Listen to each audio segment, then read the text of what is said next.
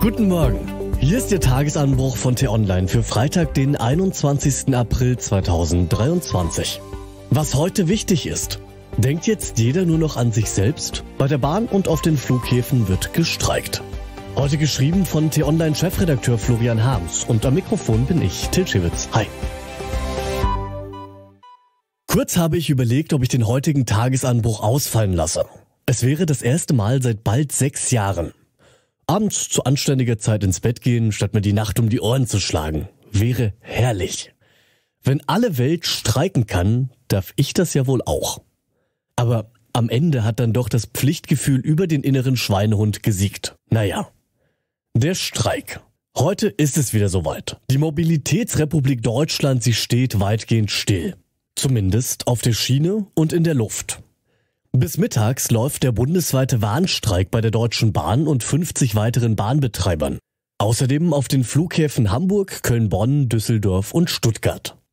Die Gewerkschaften wollen deutlich höhere Löhne durchsetzen und das ist auch ihr gutes Recht.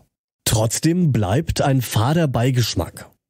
Nicht nur, weil man heute als Pendler oder Passagier mal wieder stundenlang nicht von A nach B kommt, man fragt sich auch unwillkürlich, denkt hier eigentlich jeder nur noch an sich. Denn fordern ist leicht, aber fördern ist schwer. Vielleicht sollten wir angesichts all der Krisen trotzdem eher darauf schauen, was wir förderliches tun können, um das Land wieder in Schwung zu bringen. Zähne zusammenbeißen, anpacken, ein neues deutsches Wirtschaftswunder schaffen, wenigstens ein kleines. Frage nicht, was dein Land für dich tun kann, Frage, was du für dein Land tun kannst. Das hat ja schon der ehemalige US-Präsident Kennedy gesagt. Pandemiefolgen Krieg, hohe Energiepreise, klimaschonender Umbau von Wirtschaft, Wohnen und Verkehr. Die Herausforderungen zurzeit sind riesig. Wollen wir unseren Wohlstand erhalten, müssen wir uns jetzt richtig anstrengen. Der Staat hilft ja schon mit Gas- und Strompreisbremse, höheren Renten, mehr Kindergeld und manchem mehr. Die Deutsche Bahn muss zweistellige Milliardenbeträge in die Gleissanierung, den Netzausbau, mehr Züge und zusätzliches Personal stecken. Nun auch noch deutlich höhere Löhne. Wie soll das gehen? 12 Prozent mehr bei den oberen Einkommen verlangt die Eisenbahn- und Verkehrsgewerkschaft. Verdi fordert für Flughafenbeschäftigte im Sicherheitsbereich, in der Passagier-, Personal- und Warenkontrolle deutlich höhere Zuschläge für Nacht- und Wochenendarbeit. In beiden Fällen haben die Arbeitgeber bereits große Zugeständnisse gemacht. Doch die Gewerkschaften wollen noch mehr. Mehr, mehr, mehr.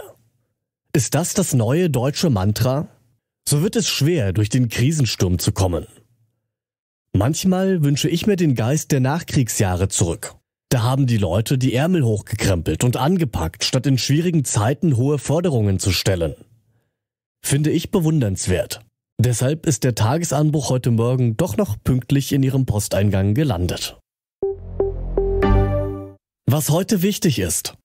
Vorsicht Blitze. Bahn- und Flughäfen werden bestreikt. Dann eben schnell das Auto nehmen? Grundsätzlich ein nachvollziehbarer Gedanke, nur mit den Wörtchen schnell in Verbindung mit fahren sollten Sie heute besonders vorsichtig sein. Denn fast alle Bundesländer, bis auf Berlin, Bremen und das Saarland, beteiligen sich am Blitzermarathon. Urteil zur Todesfahrt.